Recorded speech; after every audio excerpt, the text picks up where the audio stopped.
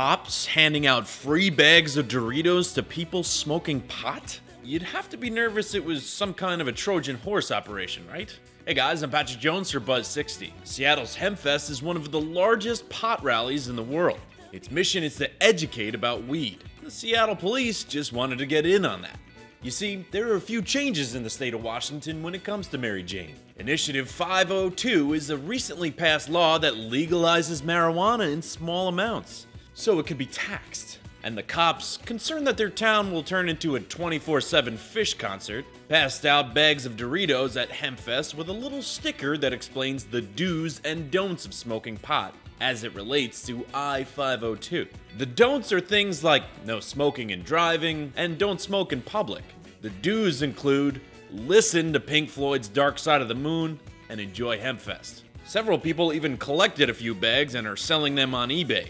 8 bags for 50 bucks. But is 50 bucks worth the restraint it must have taken to not suck those chips down immediately? Buzz60, now you know, pass it on.